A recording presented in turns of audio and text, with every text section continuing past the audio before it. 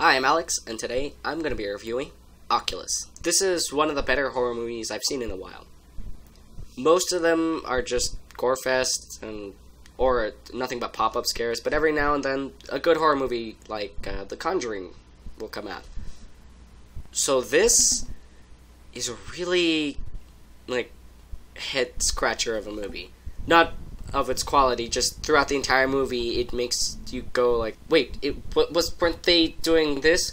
Wait, I I thought he was going there. How is he suddenly outside? There are so many scenes that just confuse you, like, because that's what the thing in the movie is doing to the characters. It makes them think they're doing something, and then totally screws with their head to like conjure up illusions and make them see things that aren't or are really there.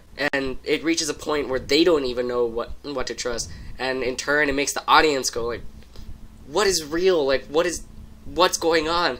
So this movie is supposed to be about a brother and sister investigating a haunted mirror that where every single owner of the mirror has died in a horrible way.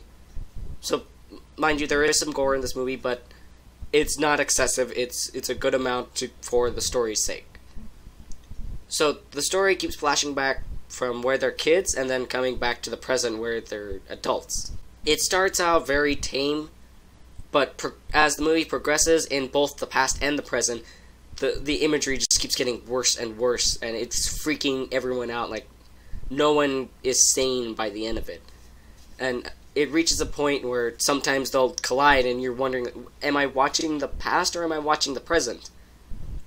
So overall i think this was a really fun horror movie to watch. If it's around halloween i would say buy or rent this movie and just watch it with a few friends. It's a really great movie. If you like this review be sure to like and subscribe and i'll see you guys next time